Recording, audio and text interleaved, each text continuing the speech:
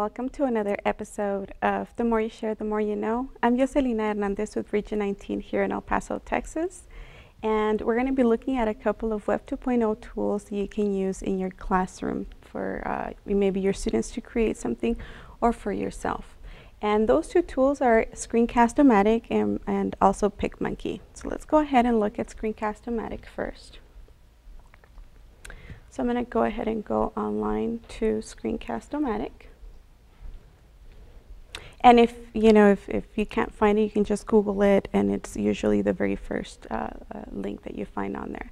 So Screencast-O-Matic, what what it is is a way for you to create a quick video. It's free. You don't have to log into anything. And this video would be of, of a tutorial. So I'm going to go ahead and quick start recording because it does take a few, um, maybe a couple of minutes.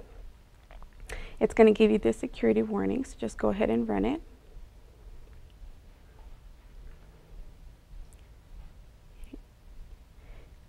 And then what will happen is you're, you're going to get a screen that's going to pop up.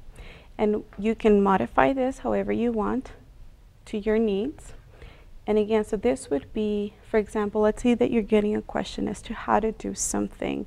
And this question is repeated often. And so what you want to do is be able to just give people the video so that they can uh, know how to do this, uh, whatever it is that they're asking you for. So I'm going to go ahead and select that as my screen and you can you can put it however you want.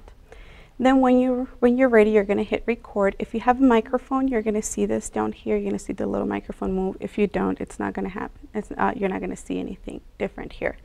And you can change the size here if you want. You can also have the camera if you'd really uh, want to have yourself in there.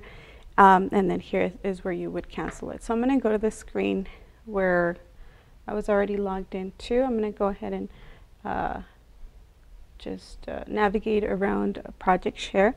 We have a, um, I'm already logged into Project Share, so I'm going to go ahead and, and get started here. So I'm going to hit record. It's telling you it's starting.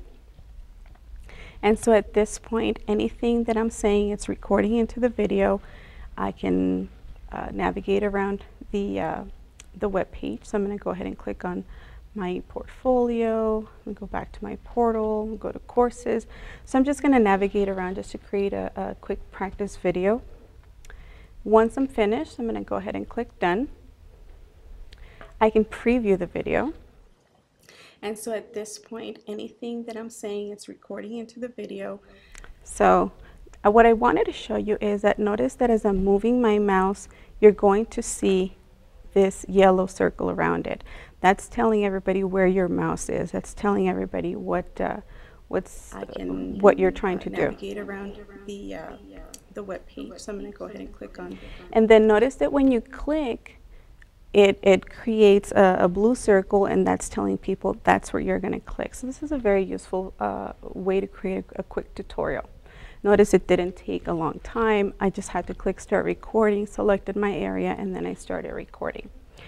Now you can do a few things um, on here.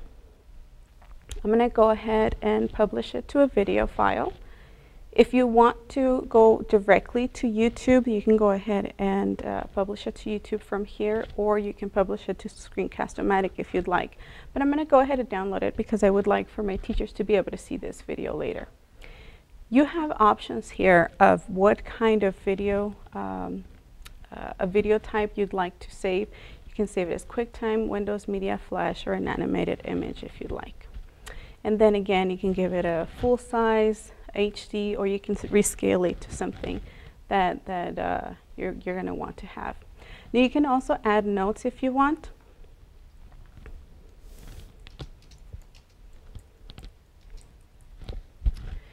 And what it is, is you're going to put the notes at a specific time in the video. So it'll pop up for the people that are watching your tutorial or your video, it's going to pop up at a specific time. So for example, I can do um, 10 seconds here.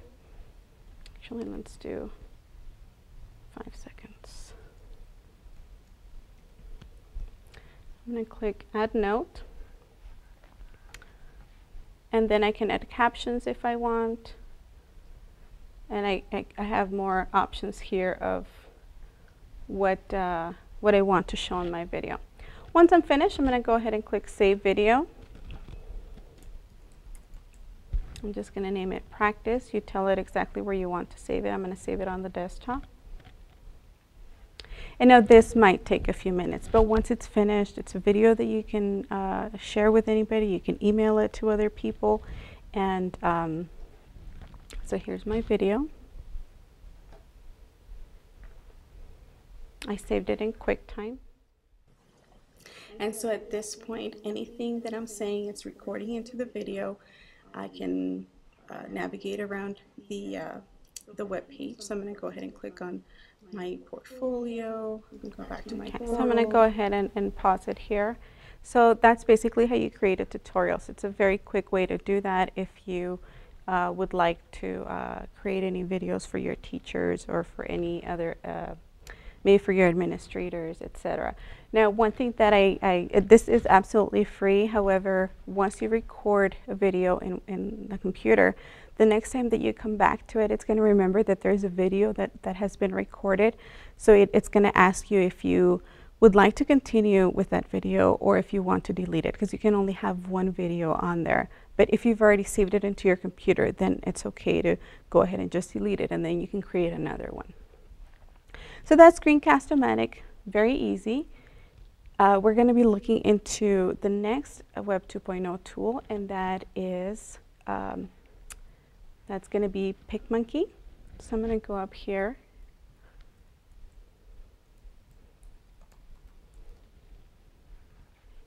Now, PicMonkey is a tool where you or your students can edit um, any pictures that you that you want to edit you have a lot of options on here. If you don't have money to purchase, for example, Photoshop, you know, it doesn't give you all those options for free, but it does give you quite a, quite a few options for you to edit. So I'm going to go ahead and edit a photo. You can also create a collage, by the way. So I'm going to go ahead and, and edit a photo. I'm going to find a picture that I already had on here. So I have this uh, picture of a, of a dog. I can crop it if I want to. So let's go ahead and crop it. And then right here, I can change the options, scale it. I'm going to just go ahead and apply what I had. I can rotate it if I'd like to. And then I can change the exposure. So there are a lot of options on here for me. Notice that all of these are free sharpen, resize, etc. Now look at some of the other options over here. Some of the effects that you can add. What I wanted to show you, if you see this little crown here, that is an option for the, peop the people who have paid for, for, the, um, uh, for the upgrade. So if you don't see the crown, all of this is free. So let's say that I'm going to go ahead and change this a little bit apply it. So there, there are many options that I can do. Notice the boost, the soften. So I do have a lot of options. I can do a little touch up. I can add text if I want to. Again, all of these are free except for the ones that have the crown down here. I can put an overlay if I want to as well. And so I do have a lot of options on here. So once I'm finished, I can go ahead and save it. And I'm just going to name it dog one, save photo.